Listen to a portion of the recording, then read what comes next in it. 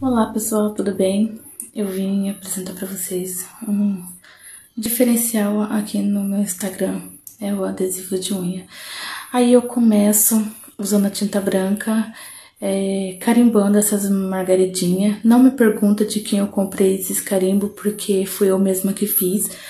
Aí eu também usei para fazer esse botãozinho aí, o vermelho romã com o branco, Aí, pra fazer essa folhinha aí, bem delicadinha, né? Eu usei o branco com concreto. Um branco com concreto. Eu tava usando aí o pincel do kit Hello Mini 39. Aí eu coloquei aí pra realçar essa pontinha o vermelho romã. Aí eu fiz esse lindo coraçãozinho aí também com vermelho romã. Aí depois eu venho fazendo os os miolinhos também com vermelho romã, com o mesmo pincel, o pincel filete.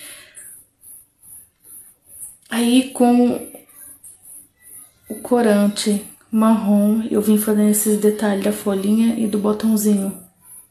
Continuando com o pincelzinho filete, eu fiz esse pinguinho.